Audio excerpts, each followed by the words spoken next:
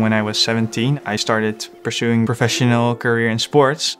I was completely obsessed with sailing. I had some injuries. I had to go to a, a, physiotherapist for that. And then I thought when the first time I got there, I was like, whoa, this, this is really like, this is really nice. I choose to study uh, musculoskeletal physiotherapy science at the Vrije Universiteit Amsterdam because I really wanted to uh, learn how to conduct science. The first day I walked into the movement lab, I was like, oh my god, this is so awesome. It's like a, a playground for, for physiotherapists.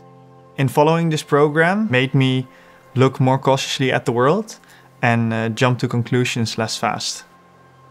Looking back at my career as a professional athlete, where I am right now and where I might be, yeah, I definitely think that I, uh, I took the right choice. My name is Dennis and I study musculoskeletal physiotherapy science at the Vrije Universiteit Amsterdam.